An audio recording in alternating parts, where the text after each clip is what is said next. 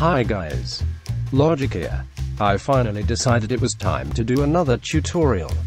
This time we are going to tackle creating a custom class. It's actually much simpler than you think. We really only need two files. Let's look at the first one now. The mod player file. We only need a single method in this file. Reset effects. This method allows you to reset variables like item damage multipliers that can be changed by other items. Now we need to come up with a variable that will control our class's item damage. Of course, I'm making the banana class. So I will call my variable banana damage. It needs to be a float as well so that it can contain decimal places. We then set the variable to be 1 so that it constantly resets the damage multiplier to 100%. Otherwise all items that would add to the damage would just keep adding and adding and adding. Now we're moving on to the harder part, which isn't actually very hard at all. Creating the parent class for all the weapons of this class. Create a file with your class name and then item as its name. So since my class is the banana class, I named my file banana item. I skipped some of the file setup, since it's exactly the same method as every other mod file you create.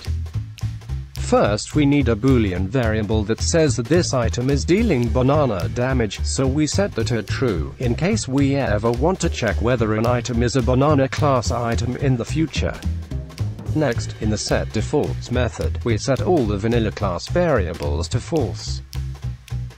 Now we want to edit the tooltip method to change it to say the correct type of damage is being dealt. You should copy the code from the link in the description to get the template for this part, as there are lots of complex functions that calculate where to insert the string in the tooltip. It's basically saying, split the string at the place where it says damage, and add this word before it.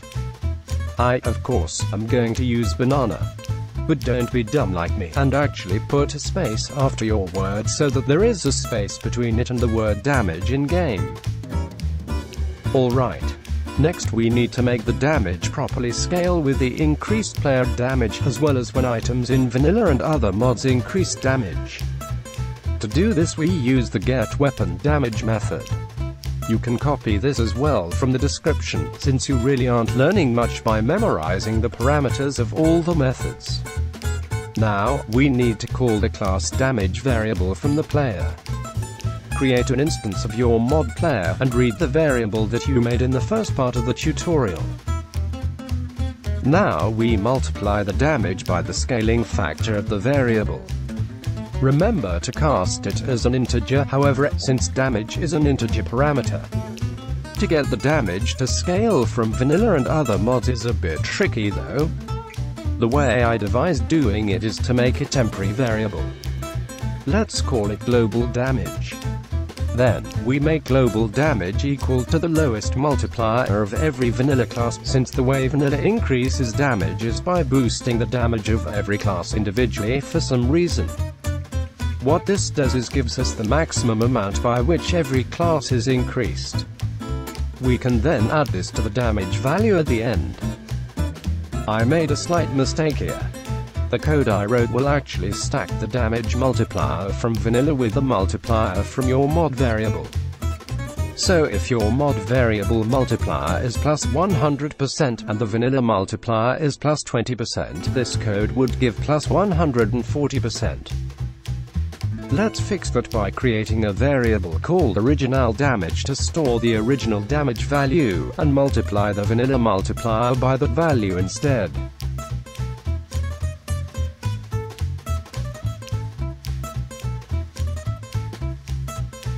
There we go.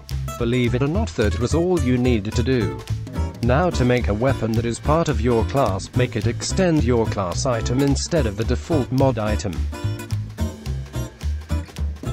Now my banana deals banana damage. Bizarre. If you want to make something like an accessory that increases the damage your class deals, all you have to do is call an instance of your mod player again and increase the variable like I did here. Time to test it in-game. there's always something wrong, like accidentally adding decimal places in a variable name because I'm so used to coding in Game Maker. Whoopsie daisy. Make sure you also have all the imports necessary to use the functions in your files. After debugging all of that, let's see how it looks in-game. Well, besides the space I forgot, it looks like it worked. Let's test out the accessory as well, and see how that works. Hey hey.